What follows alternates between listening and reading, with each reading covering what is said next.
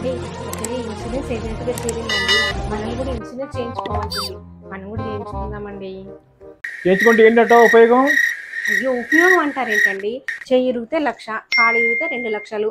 అలాగే మన బాడీలో ఏ పార్టీకి ఏమైనా సరే దానికి డబ్బులు ఇస్తారంట. అవునా భారతి? అయితే నువ్వు వెళ్ళి ఇన్సూరెన్స్ చేసుకోపో తర్వాత నువ్వు ఏ జేరు కొట్టి ఉంటుంది ఇరక్ కొడతా. తర్వాత నువ్వు ఏ జేరు ఉంటుంది ఇరక్ కొడతా.